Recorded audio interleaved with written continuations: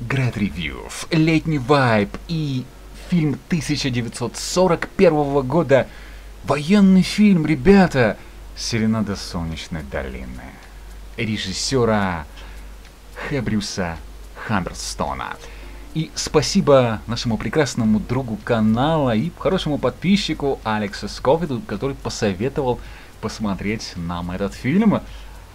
И как же не хватает этому фильму Оскара, ведь он обязан был получить, но, к сожалению, только номинация в 42 году за лучшую работу оператора, бы фильмы, лучшую песню, лучший саунд для музыкальных картин. Очень жаль, ведь фильм воздушный, легкий, смотрится, и можно пересматривать его еще долго и долго.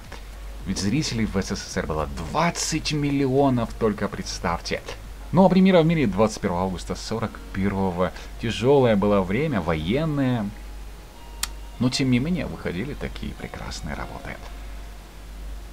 И великолепные актеры Сони Хенни, Джон Пейн, Глен Миллер, Милтон Бёрн, Лен Барри, Джон Дэвис, Николас. Это было совсем-совсем другое время.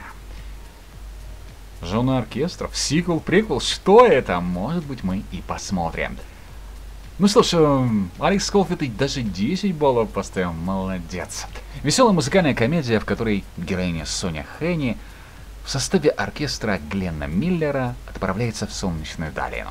Забавные приключения комедийные ситуации и великолепные композиции Глена Миллера легли в основу этого фильма, который первоначально был задуман как рекламный ролик для музыкальной темы. Но усилиями Брюса Хэмерстона был доведен до размера полнометражного кино. Мистер Мори, владелец горнолыжного курорта Нихухры-Мухры, с великолепной солнечной долины. Для нового сезона ищет молодой джазовый оркестр с имением. Или с именем. Ребята, 9 баллов. Просто это подарок. Я люблю такие фильмы той далекой эпохи, неважно, зарубежные они, СССР, ведь в них есть душа, сердце и совсем другой стиль. Образ. Мы были в 41-м и красивое название «Серенада солнечной долины». Обязательно к просмотру всем любителям хорошего синематографа. Это практически шедевр. И великолепные актеры. С вас лайки, подписки на канал, игра ревью в Яндекс.Зен. Помощь автору будем очень признательны. Хорошего настроения, летний вайб. Welcome back.